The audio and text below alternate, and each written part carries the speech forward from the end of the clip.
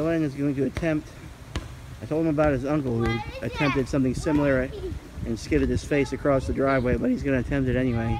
He's going to attempt to leap over this car.